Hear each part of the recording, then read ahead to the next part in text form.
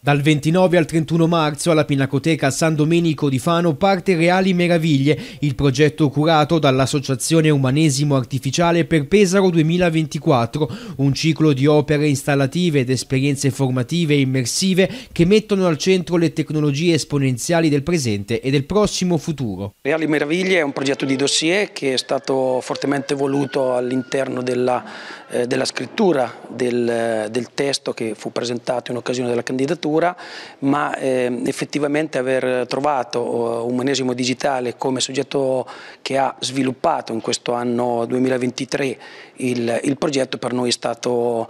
un partner perfetto da tanti punti di vista, quindi eh, si è incastrato perfettamente, ha interpretato quelli che erano gli obiettivi, quelli che erano le traiettorie che volevamo rappresentare all'interno di Capitale Italiana della Cultura che, come lo ricordo, ruota su tre grandi concetti, arte, natura e tecnologia. Su questa parola abbiamo lavorato e abbiamo cercato di dare il meglio grazie anche a Umanesimo Digitale. Diversi gli eventi da marzo a luglio, artisti internazionali e cittadini saranno invitati a riflettere sui principali temi di indagine attraverso la creazione di lavori per Pesaro 2024. Gli eventi si svolgeranno in varie sedi come Pesaro, Fano, Pergola e San Costanzo. 29, 30 e 31 marzo alla Pinacoteca San Domenico di eh, Fano prevede questa performance del, degli artisti cyborg Neil Arbison e Paul Lombarte. Neil Arbison è quell'artista cyborg che da vent'anni ha un'antenna eh, in, impiantata eh, sul, sul cervello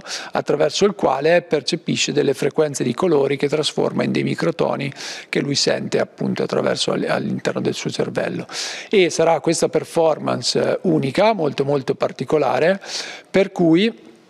eh, costruiremo questo pianoforte e quindi nelle giornate di venerdì e di sabato la cittadinanza, chi vuole, può venire ad aiutare gli artisti a costruire questo pianoforte eh, che poi eh, Neil eh, utilizzerà sabato sera per suonare eh, in questa performance per cui ci saranno delle lampadine che si illumineranno con dei colori e eh, la cosa particolare è appunto che eh, Neil Arbinson attraverso questa antenna puntando l'antenna sulle lampadine colorate ci sarà questo dialogo tra la parte diciamo analogica del suono del pianoforte e la, la parte elettronica che sono fondamentalmente queste frequenze di colori che lui ascolta e che verranno attraverso, un, eh, attraverso il Bluetooth del suo eh, microchip verranno eh, espanse nell'impianto, nell'impianto audio.